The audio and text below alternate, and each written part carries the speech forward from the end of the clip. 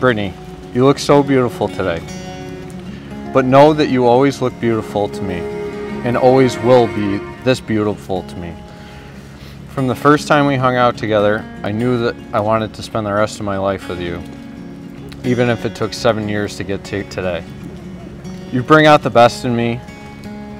You can always make me smile. You are such a caring and wonderful person, and I'm excited about what our life path holds with you sitting shotgun in our new truck.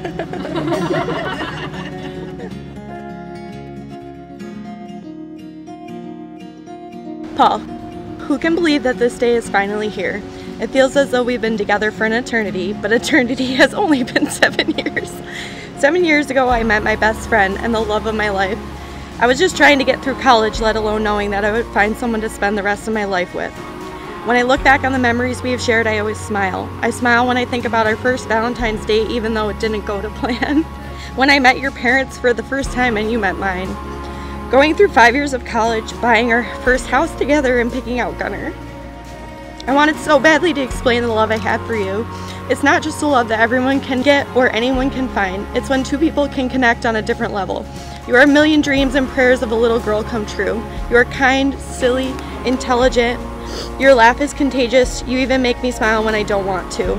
You acknowledge my strengths and accept my faults. I take you as you are now, tomorrow, and forever. Even when we're old and gray, I promise to see you with the same eyes and same heart as I see you today. I promise to dream with you, celebrate with you, walk beside you through whatever life brings. I couldn't imagine my life without you. You're my person, my love, and my life today, forever.